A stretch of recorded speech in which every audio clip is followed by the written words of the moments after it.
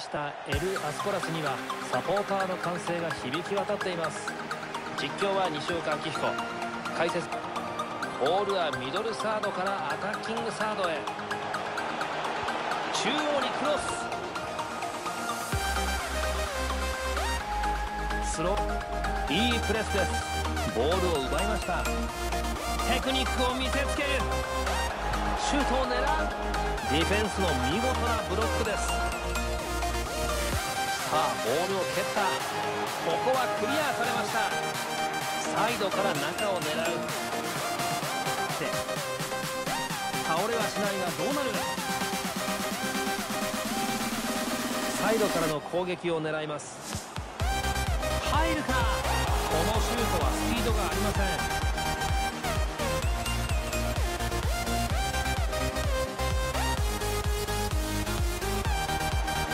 このパスはカットされます。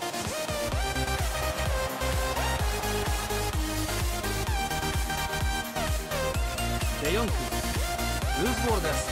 ボールはどっちだ？チャンスでしたがゴールキッ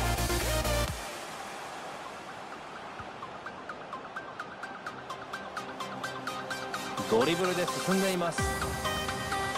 パスをじっくり回してディフェンスのほころびを作り出そうとしています。弾きましたがここはプレーを切りたい。相手陣内でインターセプト。決めれば勝ち越し。インターセプトでチームを救いました。勇敢でしたスローインのミスですね。そのまま相手に渡しました。デヨンク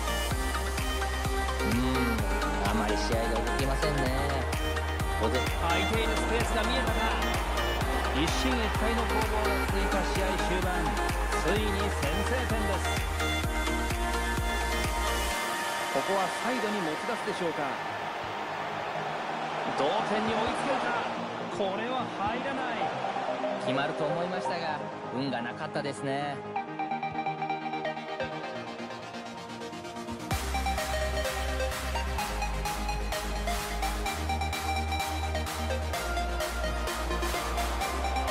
サイドにスペースがあります。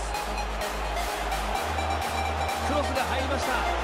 中央へのボールはクリアされました。試合終了です。ホームチーム